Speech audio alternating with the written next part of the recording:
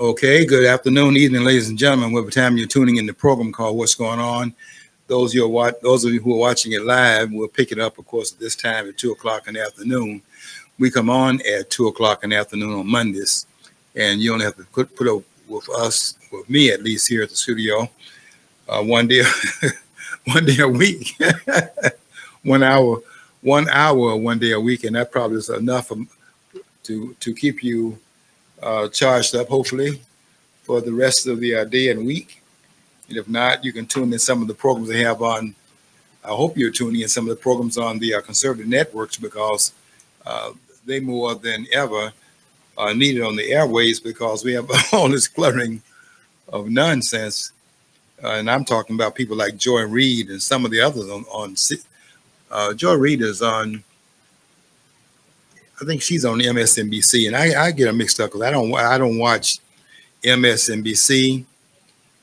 If I if I catch anything on there, it's, it's I'm passing by to to get to one of the conservative stations, and I'm caught between uh, uh, Newsmax, that's my favorite, and then I'm going maybe as a secondary source to uh, to Fox, which is way down as as my number two choice because after they got rid of uh, Tucker Carlson, Tucker Carlson, I, I lost a lot of interest in what they were doing, what they're doing over there. I, th- I guess uh, I, you know, and, and Laura Ingraham is, is doing a good job, um, I think. And uh, let's see who else is on there. Uh, I, um, uh, Hannity, Sean Hannity comes on at, at nine and I can tolerate him, but if he keeps on putting these politicians on his program, and he did a um, program last night, you know, they don't like to come in on the anytime you have a holiday, they have a, a reason not to show up, and they have these uh, substitutes. And then when they are uh, when they when they're doing anything themselves during the during the holidays, they will uh, do a pro. They'll do an airing of programs they've done and do clips of uh, a number of programs. And last night was a good indication of uh, the kind of program that's going to drive me away from that station to keep doing that. And that was uh, last night they had snippets of a number of programs, and the first three snippets were were, were those programs that had uh, politicians on it. And so the, for the you know what I do when I see a politician on the air is I uh, bypass uh, that segment. So I just simply, the first 45 minutes of it, I got through that in no time because I kept, you showed me a politician in the air, I'm going to continue to bypass what, what you're talking about because the last thing I want to listen to is a pol- politician. I don't consider them to be anything other than knuckleheads. Uh, they don't know anything. And uh, and then and and 99 percent of the time they're not saying anything. so, Mark Levin, your program, your program last night, which is on at let's see, come on, eight o'clock on Saturdays and Sundays, and you're off by nine. I think I did that program uh, last night in about eight minutes and the only segment I watched was that by uh, by Miller, and uh, I paused to listen to what he had to say. But the rest of the rest of it, I don't. You bring on there Tom Cotton and what's some of these other politicians they had on there, unless you have somebody on there like um, uh, David uh, Han- uh, David Hanson and some of these thinkers then you can forget my my because I'm only one person, but you can forget my viewership. I'm trying to learn something, and I can't learn anything from these politicians.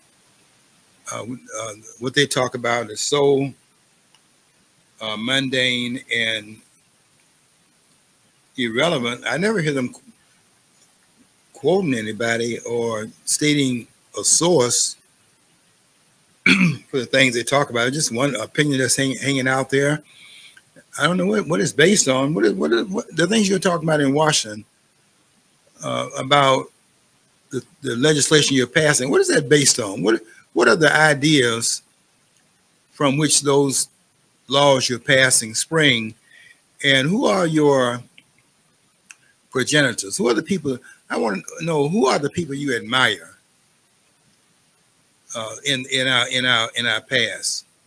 I never hear uh, anything about Madison. I don't hear anything about.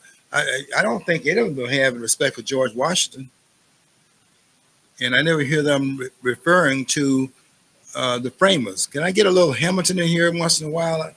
Uh, I mean, I don't agree with a lot of things that Hamilton did and said, but the man was a significant contributor to the ordin- ordination that we have right now as way in our in which our country operates.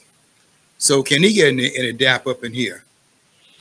And I I just can't get some sense of feeling of, of where where these people are coming from. I should I should like to get into um, well not really, but I like to find out what is the thinking behind what uh, Alexandria Ocasio Cortez is talking about because I don't know what the grounding points are. I don't know where that is coming from. And uh, you know the squad, the, the squad. She's one of the members of what they what they call the squad. And they had a rally for this one guy out of New York, and they're gonna call a rally, and he's a member of the he's a Parimpi member of the squad, and he got beat in the primary. And that's what you that's what I hope they'll do a lot more of more of. I don't think you'll get people out of their their party uh, link but at least you can primary them. And, and because if, if you're in a state like New, like like New York, which is a stronghold for the Democratic uh, Party, and they're not going to leave that party anytime soon. So you're going to challenge these incumbents in, in New York, and most of them should be primary should be challenged. You're going to challenge them in the in the primary they have a chance of winning. And this guy, can't think of his name, um, was primary, and Alexandria Ocasio Cortez ran out on the stage and was bouncing all up and down and exhorting that they ought to vote for him. He lost, and maybe that's a that is a forerunner of that's a uh, that's a foreteller of things to come because a lot of people have got to be, if it's going to take primarying them to get them out of power, then that's what's got to happen. In these uh, Democratic strongholds, a lot of them need to go, need to go, and some of these conservatives need to get out of there too. But in these uh, Democratic strongholds, where they Schumer and people like that that have been up there all these years in Washington, what are they doing in Washington all these years? when the attention was to go to Washington, do your work, make your contribution, and go back home. But they don't have any because of the skill level, the skill they bring to the table. They're not doing that, and they're not doing that because where are they going to get a job that's paying them one hundred seventy-four thousand dollars a year for sitting in a chair, uh, talking nonsense? I, I, don't, you know, it just it's we we've got to, we've got some work to do here, and some of that work hopefully will start in November, November the fifth. We have we got we got to turn some people out, and uh, that's that's got to be done if we're gonna if we're gonna uh, turn this country around. You know, last week I was talking about. I guess I'm talking about it this week as well uh, this idea of draining, you know, we talk about draining the swamp. I don't think we've ever had anybody quantify what, what we mean by that, the swamp. We think the swamp is, um, you're going to drain the swamp by maybe electing two or three more people in, in the Congress and send two or three of them home and you're going to drain the. It take us a lifetime to drain drain the swamp at that pace. You See, most people don't understand what a swamp consists of. It's basically a low low depressed area, which actually the swamp, you know, the DC is actually built upon. It's built up by you know, built up by debris, and then uh, the swamp actually itself does comprise the decaying vegetation and animal matter that gives off odors and stuff like that. Has gases associated with it, and also it's a rich it's a rich ecosystem, but it's also enriches itself up on the death of other things. Okay, and uh, the death of the which creates this, uh, the swamp, in my opinion, is the the bodies and the lives and the dreams of the American people. Mhm. I think the swamp is a very appropriate, uh, you know, very appropriate label for this. You know, Yeah, if it's a, if it, if this if, if by the swamp you mean a place that has a lot of debris that is uh, unnecessary for the growth and life that is to take um, its nutrients from the environment and so on. Yeah, I can understand that in terms of you relating that to what's happening in Washington.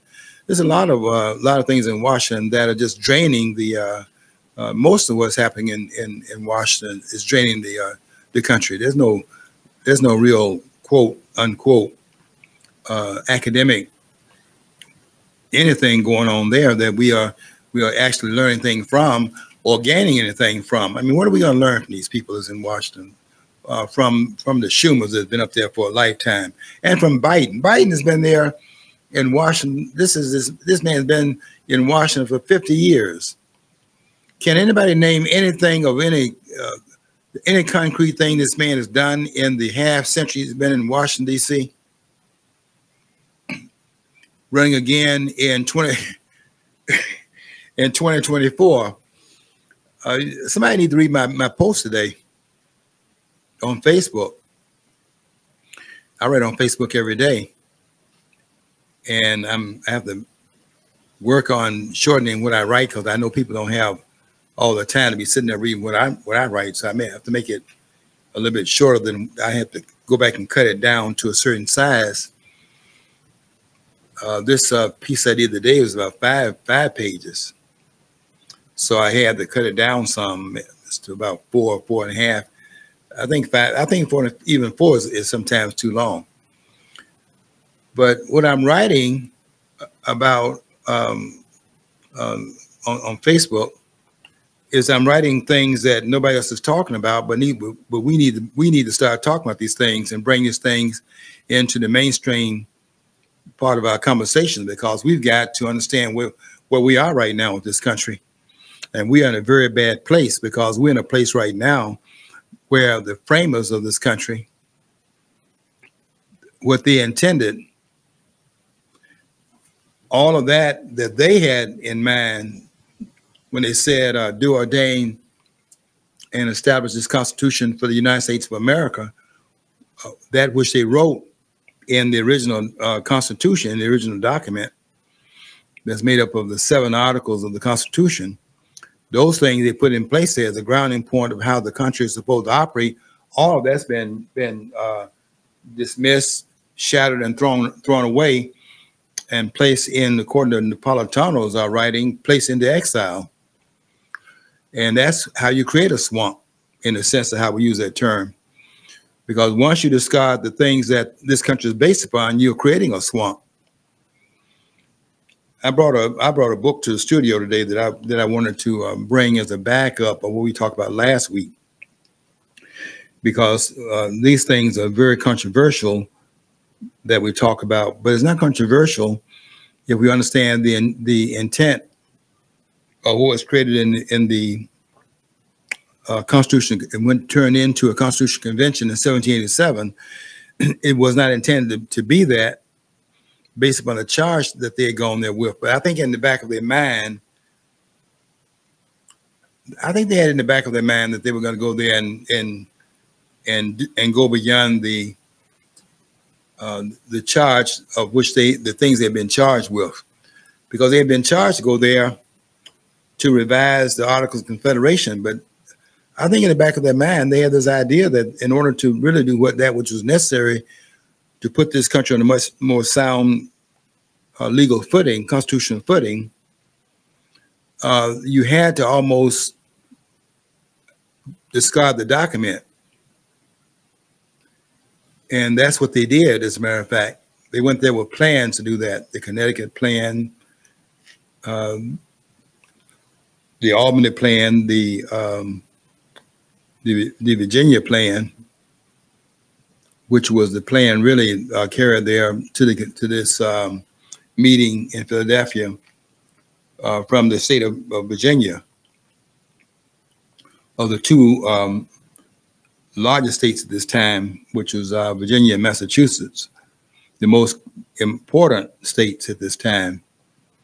And I think they went there with the idea that they were going to put their ideas on the table as a, as a building block of something that would have done what the articles were supposed to do, but to do it, uh, first of all, to, to do the restrictions that the articles attempted to do without, in fact, cutting off the the power power necessary for the government to in fact function as a polity that would be able to do the things governments are supposed to do. Number one, protect the, the sovereignty of the country, and then of course number two, to protect the liberty and the and the freedom of its uh, of its citizens.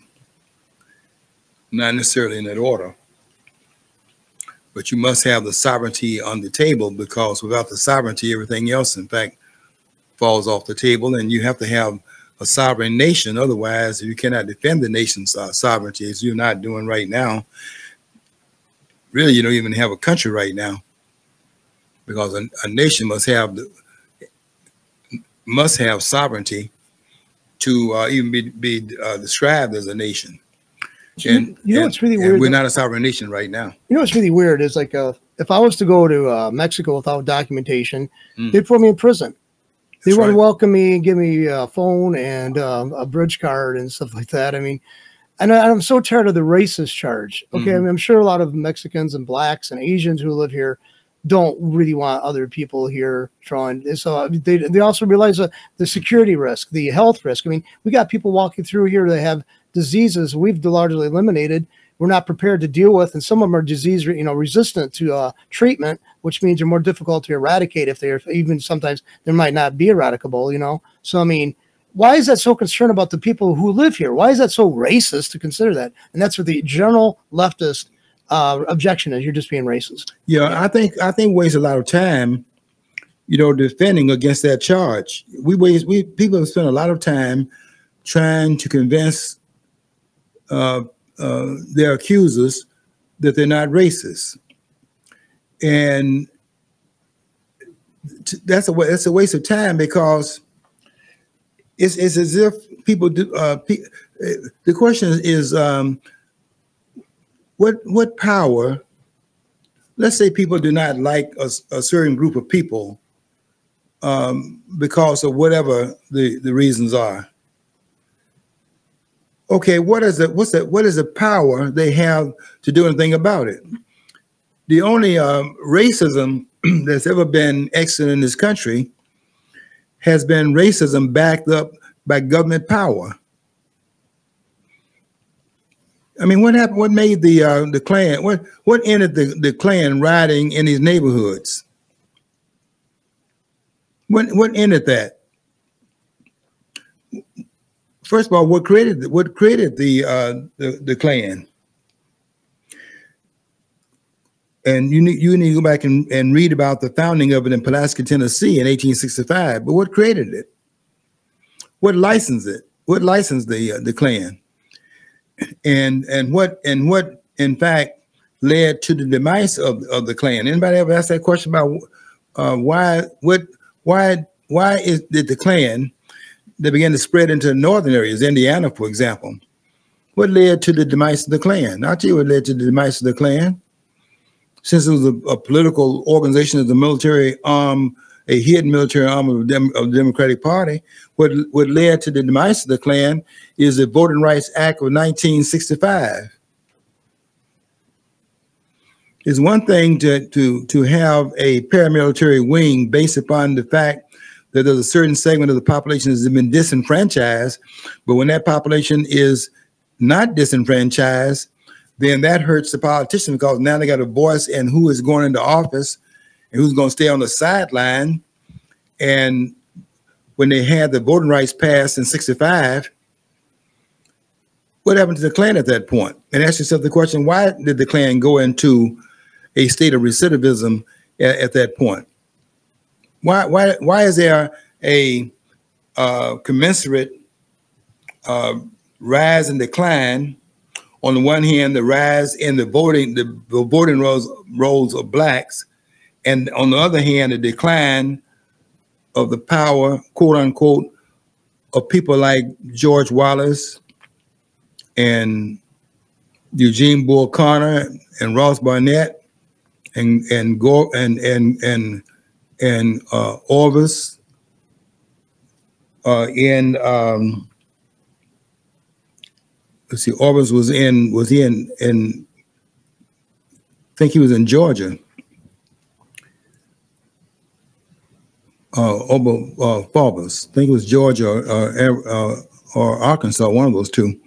You know what? I'm just thinking though the irony of uh, the Klan being formed in Pulaski, Tennessee, a town named after a Lithuanian, a Polish and Lithuanian general of this of the during the Revolutionary period, Mhm. who was a Catholic. Because uh, the, that was one of the things they hated too. The uh, the uh, Klan was. I just want to insert that in there. Yeah, that's true. Uh, the the whole the the Klan was a a WAPS um, group. Um, white, it's W A S P. They usually uh, title it. It was a, a WAPS uh, organization, white Anglo-Saxon Protestant. So the Jews were excluded, and of course blacks were would be excluded. But the exclusion has no power. You you really can't. You really cannot hurt a group just because you are just because you have a certain um, dislike of, of that of that group. For example, uh, there are a lot of there are a lot of people in the South. I'm from the South, so I I, I live this, so I, I kind of knew it from having gone through it. I, I ran into very few, very, very few in the Bull Connor days of racists in, in the South. Now, nobody's going to refute advantage that's given to you because of certain things that have advantaged you over someone else. So whites would have been uh, foolish to not take advantage of things that were handed to them by politicians because um, they based on whatever it was based upon and so on and so forth. But in those same homes, those same places, I I would go into, you know, I, I went around and bust. We used to have uh, have coal as a heating source. I used to go around and, and bust coal that would be out in the yard of people's homes and uh, bust a coal for them and make me a quarter or a dime or whatever I wanted, you know, just some cookie money. And after I would get through working out there in the yard, they would invite me into the into the home for a glass of water, maybe some lemonade. I'm in their, I'm in their kitchen. This is Bull Connor days. I'm in their kitchen, uh, uh, uh, drinking lemonade out of a glass, and they didn't throw the glass away when I left out. They put in the dishwasher. They they washed it. We didn't have dishwashers. You put the uh, glass in the sink with the other dishes and and wash it out as you wash the dishes out that drank by out of by anyone else. I didn't. They. I didn't. I didn't feel like I I go in there and I wouldn't come out alive. So this, is, but but in terms of um of, of the advantages that were accruing to to whites in the South at that time, under George Wallace and and uh, under Bull Connor, that's as real as, as, as rain. But it, but but what caused Bull Connor and George Wallace to, to to sound the way they were sounding out in public? The fact that they had disenfranchised the blacks, they couldn't say anything about it. And then the whites getting advantages because of the way they're being treated. One one example was that um, I was I was raised on on on on on on welfare. Now the welfare in that time period was very different at that time than it is right now, because the, welfare was for the for the working poor. I mean, nobody was giving you a check. You had to still pay your bills, so you had you had to still work.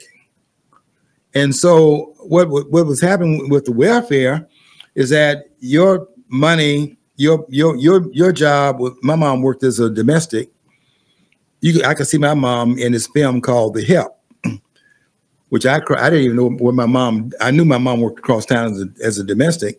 My mom never talked about her job. She went over there and made her money and came back home in the community we were in, the segregated community, because we, we lived in uh, this part of the community, and whites lived around, across around uh, down the street and around the corner. You all live in the same neighborhood, just not in the same and not in the same block. And I, I, I knew my mom worked as a domestic, but she went she went across town and worked. And uh, she worked in, in being a domestic. She worked in uh, in in in in in, uh, in, in in white homes. And when she came back, she never talked about her job. It wasn't until I saw the help that I saw I, that I realized what my my mom was doing. And I think I cried throughout that movie because I saw what my mom went through. But the reason why my mom never discussed her job, and certainly I'll talk about the ones that employed her. Uh, there was one thing in that film that I knew could not have happened because that I tell you what that segment was in that film, but that could not have happened. Uh, the help was a, a, from a novel written by a, a, white author, but that what they had those that that that one girl, one woman in that film do to her employer that that would not have happened. because the way they looked at their jobs was that this job paid allowed them to put shoes their, on their children's feet, and they were not going to go uh, and work then come across back home and then talk about the employer because they looked at them as as employer as someone empowered them to put food on their table and the minimum opportunities they had. They were too appreciative of the jobs that allowed them to do little things they could do, and that squeezed the uh, environment they were in that they just didn't discuss it. it it's what you it's what they did. And none of them ever talked about it. Not they didn't talk down. I never heard them talk about um, the crosstown things. I didn't know I didn't know what that was about.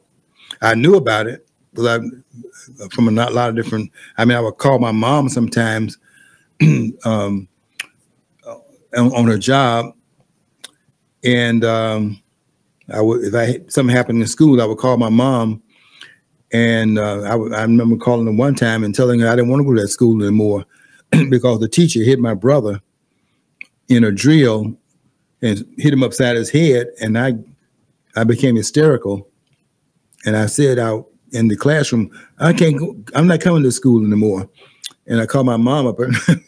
I think I thought I just quit and go somewhere else.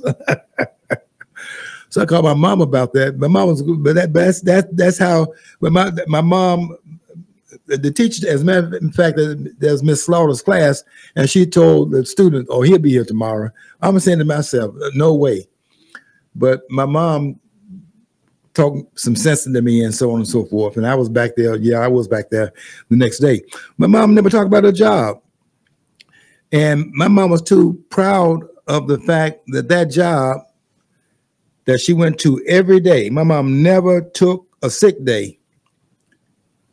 And she never came back and said so and so and so and so. It was just never discussed. That was the job she had. Now, you know what we do today? Everybody's talking about their the, the, where they work, who their boss is, and who they don't like. I, I never heard that. I never heard that conversation. And my mom, I my I comment my mom's behavior. That's why when I retired, I had so many sick days saved saved up because I had learned from my mom to go to work. So look, all this stuff about segregation and uh, racism, racism on the lips of everybody in this country today. All they talk about is racism.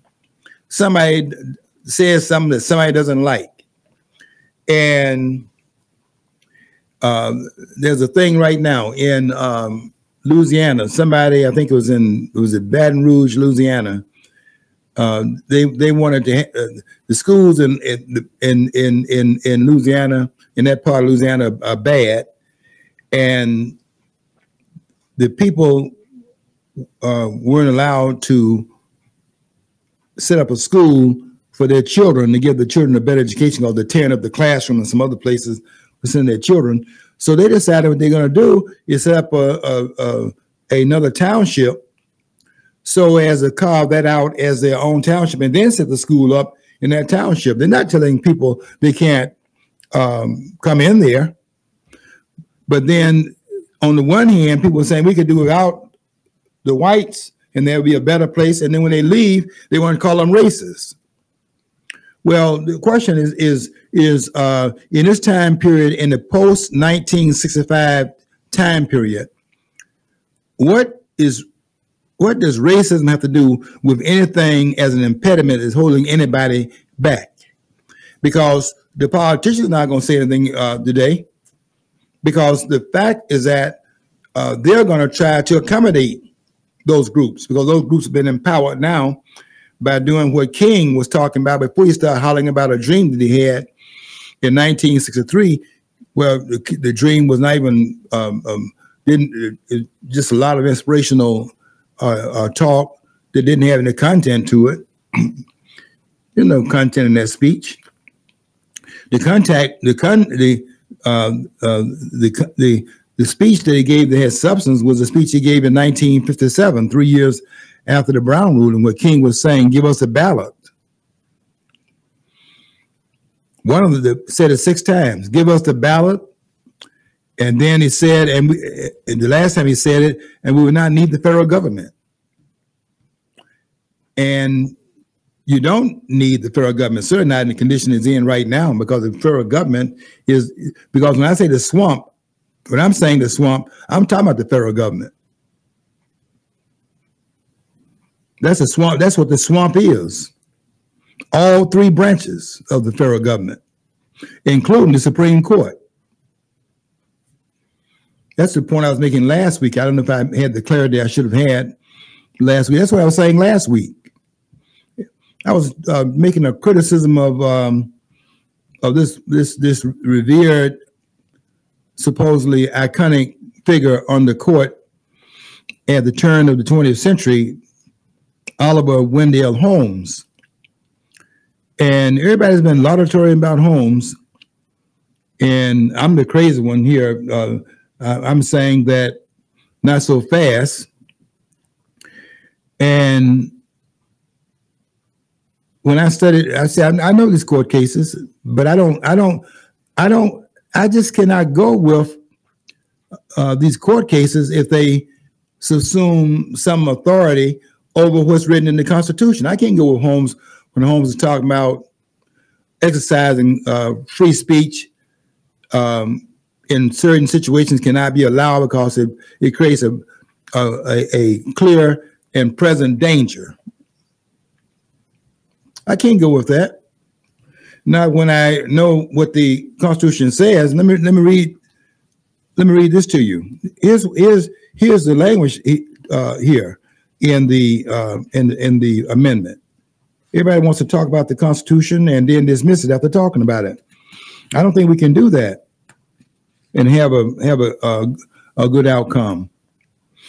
Uh, in fact, one of the things that there was I was saying last week is that uh, uh, this this uh, Joe Pags was saying that the court has made uh, has, has has made the ruling that if has an objection to the um, uh, the, uh, these these uh, parts of the federal government created under the executive branch branch of the government that if something is very vague, their idea was then if it's vague, then the institution under which that particular uh, provision falls, they have the right to to decide what it means. Of course, the court's not going to tolerate that because the the interpretive role of the government is the court uh, the, the court case here's my objection uh, uh, to to that. My objection, and I was trying to say that say this last week. My objection to it is that the the the federal government has a tendency to throw a stone and hide his hand in the role it plays. It claims that the, the law is not specific enough, yet when the, yet the, the, the lack of the specificity of the law's enforcement. In other words, treating the law, the Constitution, as if it does not speak in the terms in which it speaks. And then when they create something away from it, where they're saying things that take away from uh, the specifics, and they create this monstrosity as a result of it, then they want to criticize that there's a body being created where uh, the language is is wide enough to drive a bus through it because it doesn't speak with the specificity. Well, the Constitution speaks in absolute specificity in everything it says. That's how corruption occurs. So that's how corruption occurs. Because see, um, you, I was looking, reflecting on what you're talking about. You know, brought up Oliver Wendell Holmes. Um, basically, corruption doesn't necessarily mean payoff and uh, right. you know favoritism. It is basically a simple fact that people who uh, the general populations here back in the 1900s, they heard something from Oliver Wendell Holmes. Automatic, they automatically sat there in awe of him speaking, and they accepted the what he said because he was considered the expert and that's what it basically is the uh, color of law, the color of authority that these people that that goes a long way in creating corruption in a society because people don't challenge the assertions of people in power because they assume that because the people in power are saying this, it's accurate, true, or can't be tested or or turned around. And I would always say you know, I was always taught that any any law that it's abhorrent to the Constitution is invalid. Well, we got thousands of laws across the nation on books that are very, very based upon that premise. I mean, very ba- based upon being very abhorrent to our Constitution. We have permitted far too much. Maybe we should have mm-hmm. people. I, I, remember, I remember rolling my eyes when I heard about people doing, passing a law, and then they both sides actually have a test case, and they're going to try it in court. And I want that's kind of ridiculous when I was younger. But as I gotten older, I could see, you know, that is probably that's where the rubber meets the road at. It should see if it could pass the sniff test and the legal test. And we've committed that's another thing is it's not always corruption like payola. It's basically people are not they're not uh, resolved enough to actually keep their liberties or too willing to acquiesce to people they perceive as authority figures. Yeah, John, you're making a, a good point, and we have got to get to get an understanding of what the intent was of, of why we have why they decided to throw out number one this is the first thing throughout the articles of confederation.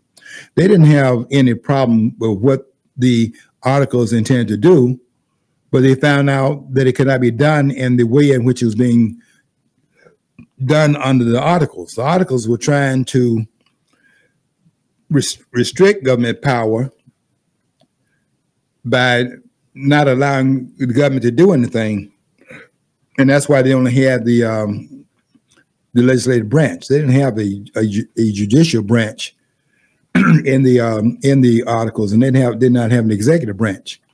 Had a single branch of government. Government was unicameral in terms of the the the the, the, the, three. There was no three branches. The, what I what I credit the framers for is the brilliance of, their understanding the nature of the problem and having the wherewithal to import a solution to it. If you're going to have one branch of government and tie it down where it cannot act unless it acts with unanimity, because each of the 13 politists have their sovereignty and have to buy into it in order for them to have um, uh, any allegiance to that which is being ordained by the law, if they don't all agree to it, then it cannot happen because they have to have unanimity in the verdict. Well, that has a, chance of working, of, of course. How, how, often is that going to work? Zero number of times, because you, you, you cannot get 100% of um, on on any anything uh, hardly um, because you got too much divergent interest involved in it. so that doesn't work. But I can understand the, the the the intent here.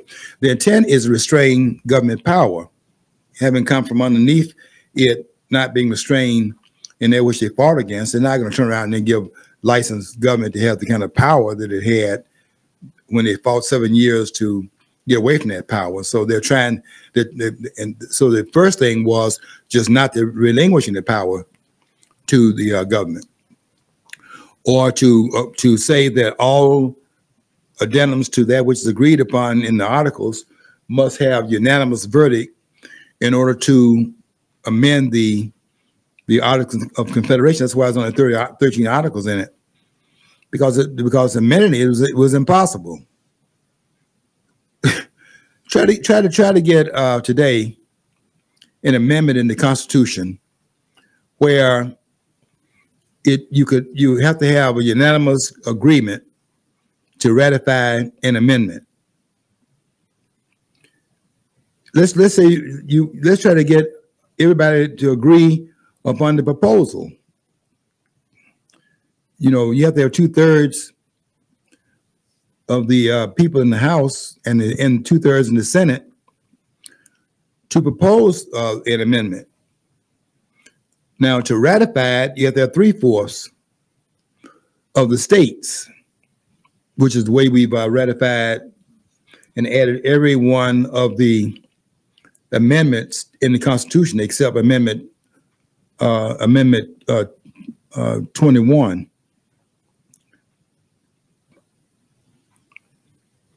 Because the 18th Amendment deals with um, prohibition, and the members of the Senate and members of the of the House were too gun shy to um, to repeal it. To which then you're endorsing um, something that's that's anti-prohibition, and they didn't want their name on that, so they ratified that amendment differently than, than they did the other 26. but all the other amendments were amended by having it proposed by two thirds of the House, two thirds of the Senate, and then ratified by three fourths of the states, except that particular one. The 21st Amendment was was uh, ratified in a different different way. the ending of, of prohibition was um, was was was handled in a, in a different way.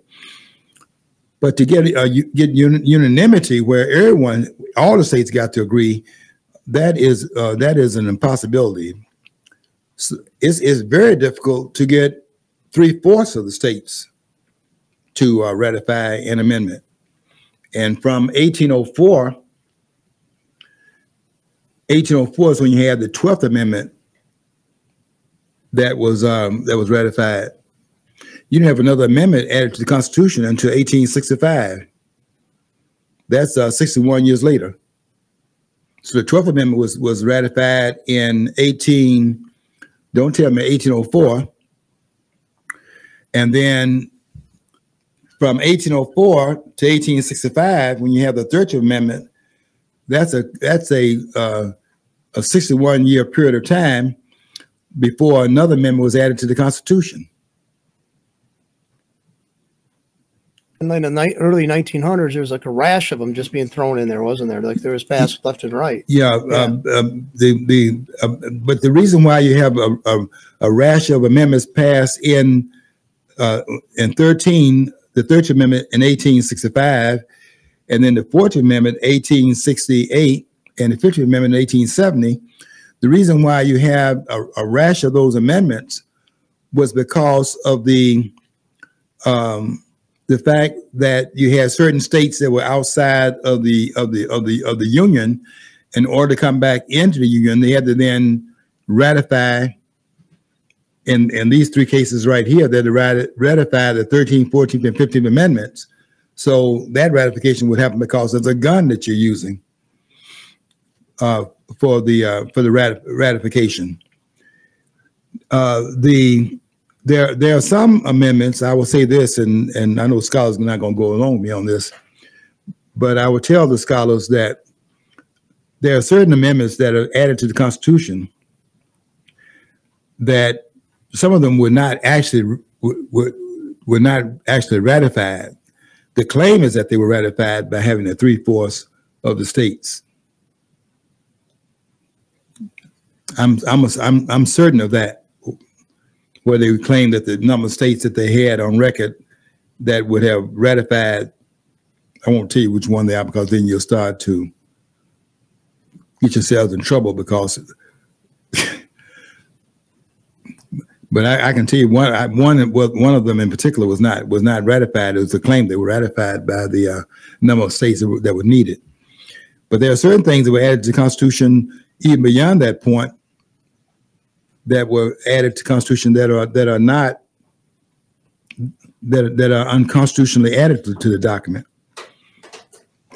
Um, the 17th Amendment is definitely unconstitutional. which is the one about the um, election of the senators. that is that is unconstitutional because the Constitution um, requires a uh, Republican form of government, and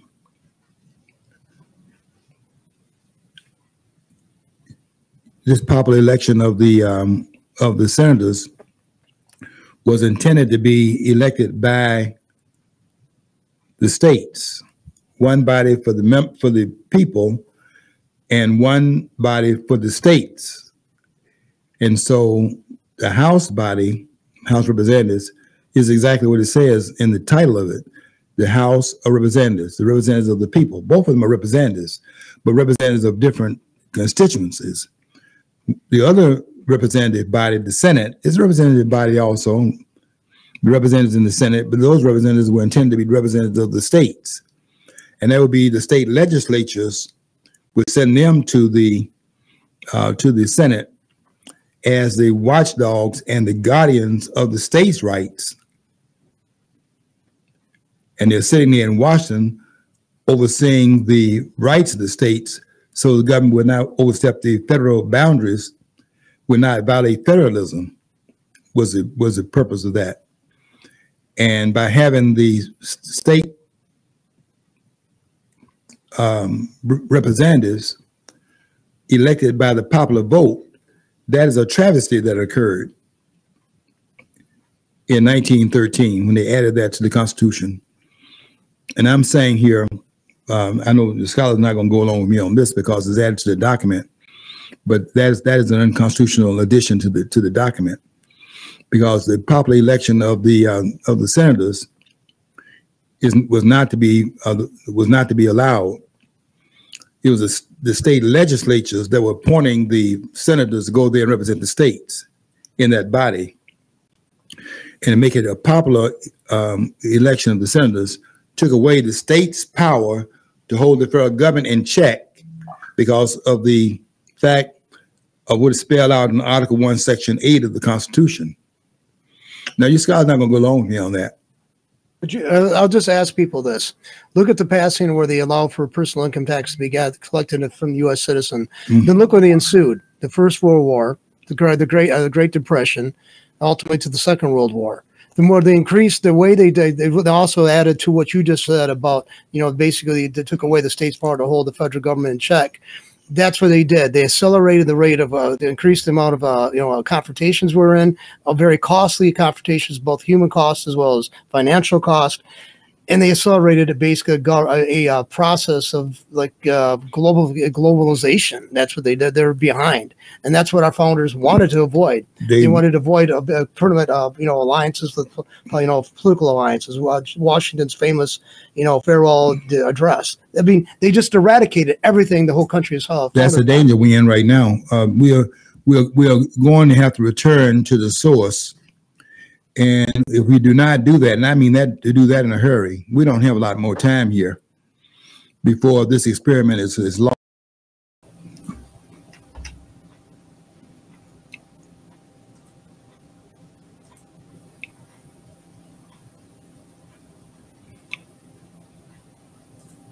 So, ready to go? I'm ready. And we are. Yeah, just three. Okay. Uh, yeah. Stream. Okay. Oh, go on. Okay, go on. Go on. Okay, um, we got cut off a minute here, and we're back live to uh, finish up the program. I was saying here that um, you know we have to go back and look at a lot of things that happened in our history and have some appreciation for the grounding point upon which this nation was in fact established. I'm from the South. I'm a proud member of that community I was raised in in Birmingham, Alabama, coming out of that part of the um, state when Bull Connor was the um, police commissioner, and uh, George Wallace was the governor of um, of Alabama at that time. He had been elected in uh, 1950. Uh, uh, let's see, 58 let's see, Patterson, and then there was uh, there was Wallace. and they were both um, staunch segregationists. But I was um, living around the corner. You know, whites around the corner, and we were living in a segregated environment because the politicians were benefiting from the fact that they get people to vote for them for saying segregation now, segregation tomorrow, segregation forever. Uh, that is it's a political uh, win to advantage a certain group and then have the other group silenced politically. So that's what they were doing in the South.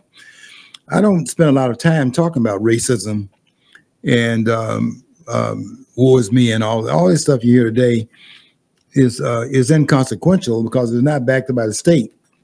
They can have all the anger in the world. The question can what what what can they do other than create an opportunity for you?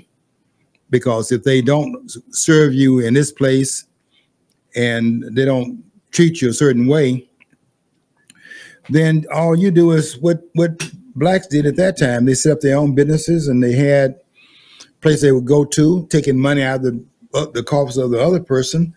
So segregation was a punishment. The person that were practicing were, were, were benefiting the group that they were discriminating against were being benefited by it because they were setting up their own businesses, setting up their own establishments. My community was full of, uh, of black businesses and we weren't trying to go across town that except to work and things like that. We were, and they had, they had their their establishment. We had ours.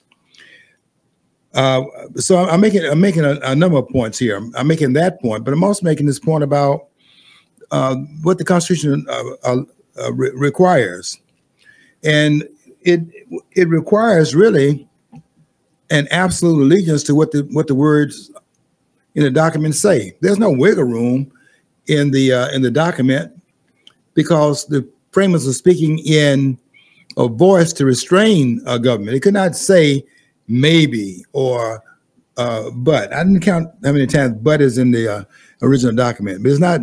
I, I can't remember, remember a single time where it was actually commanding something.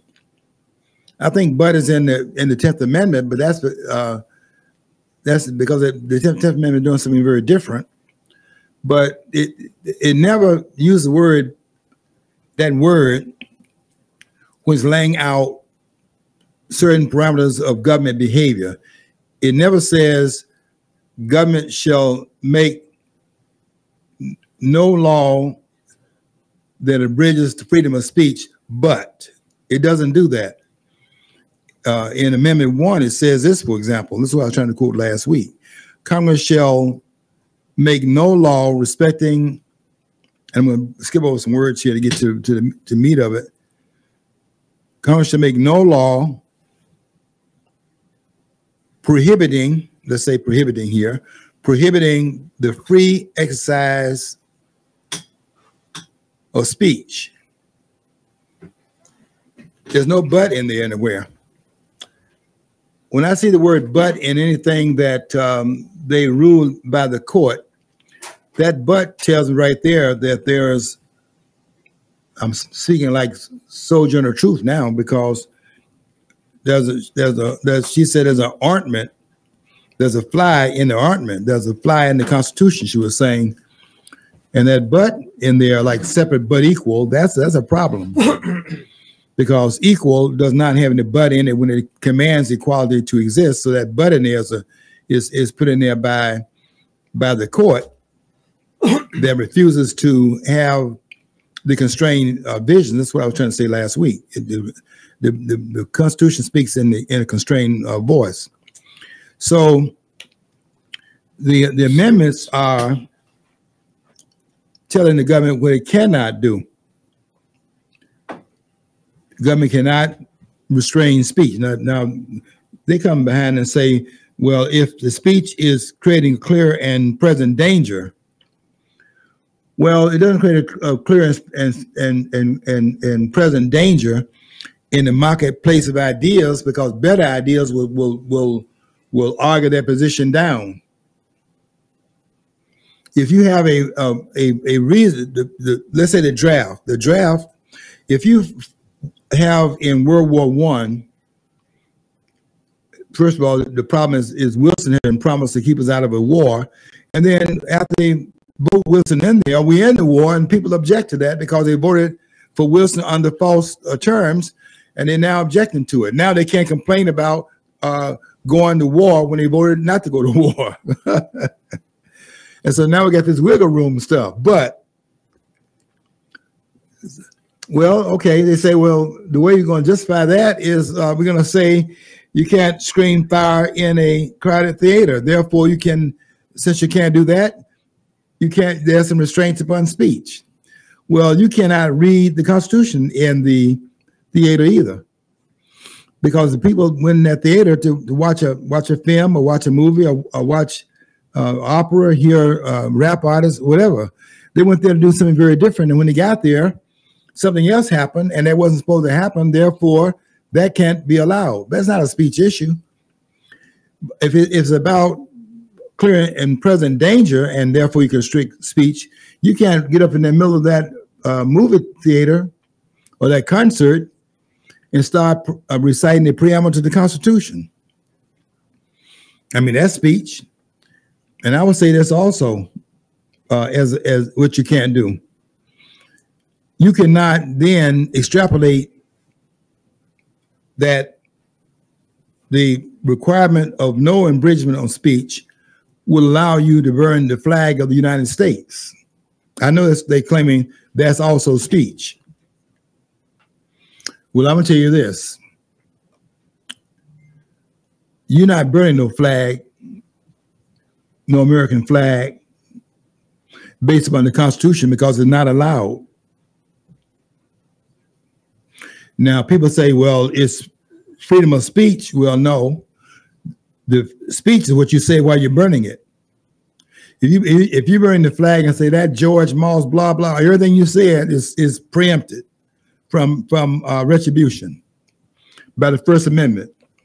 But burning that flag that they're saying you can do under the terms of the First Amendment, they made that up. The flag is the embodiment of the sovereignty of the nation. And you can make all kinds of, of verbal claims of, of, against it because of your First Amendment rights. Anything you say while you're burning that flag cannot be held against you by the fact that it says here Congress shall not uh, pass a, a law that abridges the freedom of speech. So anything you say while burning the flag is protected by the First Amendment.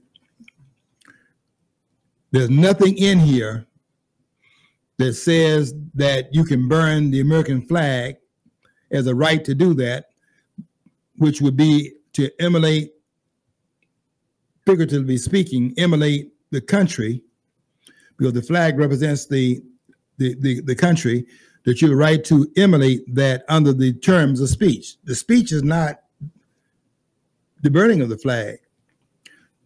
The speech is what you say while you're burning it. All of that is, is protected. You cannot abridge that. Uh, let me make another point here. You cannot do what the court is doing right now. You cannot say as the court did last week, say that the, the president has, here's what the court did this wiggle room stuff.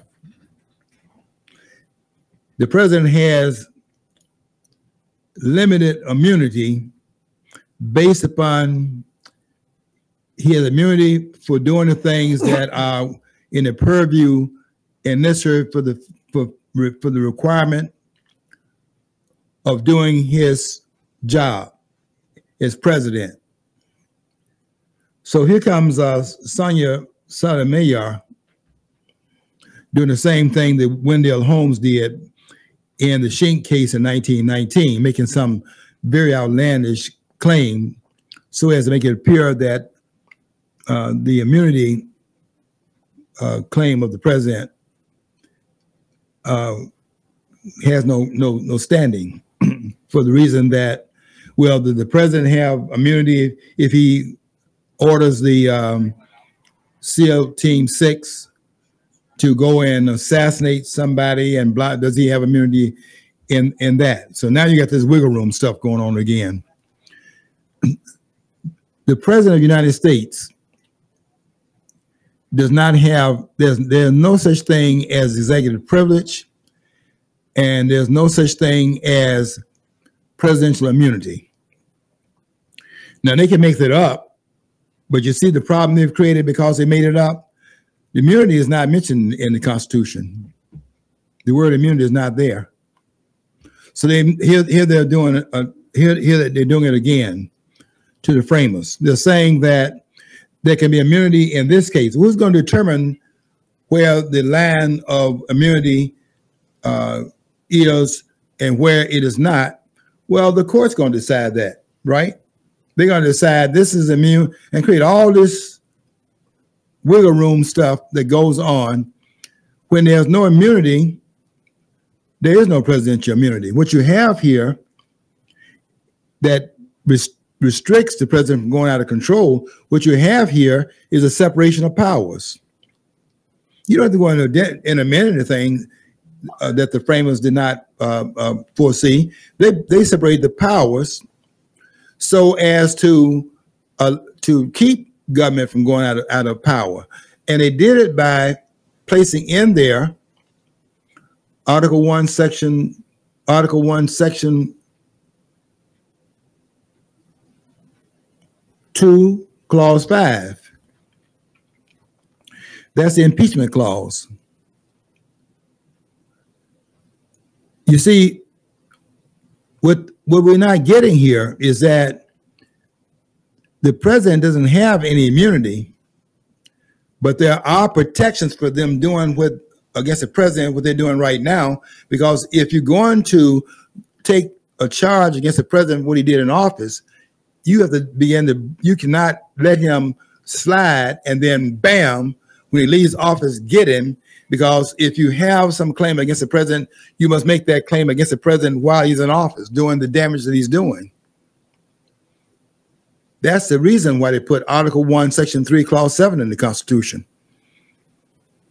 If you don't take an action against the president while he's in office through the impeachment process, and it was not egregious enough for you to take him to task while he's president, you cannot say, "Oh, I'm I'm upset about it now after he leaves office." You can't do that. They cannot do. That's why they can't do to Trump what they're doing to Trump right now. You cannot do that because you're not you do not bring a charge and then convict him on the charge while he's president. And Article One, Section Three, Clause Seven does not allow you to do what they're doing right now to Donald Trump. That's all unconstitutional behavior. And you don't have to talk about immunity to bring that about. There is no immunity. The court is wrong in that in that in that uh, case, and they're wrong in terms of what what um, Oliver Wendell Holmes did. And has anybody said that Oliver Wendell Holmes repudiated his own judgment the same year in another court case? I'm gonna read this to you, and then we're gonna get off the air. In Abrams versus United States, this this is another court case that happened in 1919, the same year as Schenck versus United States. Here's what the Schenck case did. Abrams versus United States was a decision by the Supreme Court of the United States upholding the criminal arrest of several defendants under the Sedition Act of 1918, which was an amendment to the Espionage Act of, seven, of 1917 the law made it a criminal offense to criticize the production of war material with intent to hinder the progress of American military efforts. The defendants had been arrested in 1919 for printing and distributing anti war leaflets in New York City after their conviction under the Sedition Act, the appeal on free speech grounds.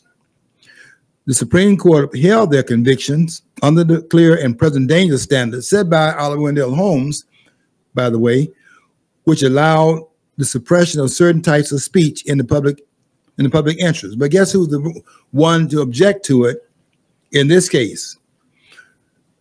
The, the ruling is best known for its dissent by Justice Oliver Wendell Holmes.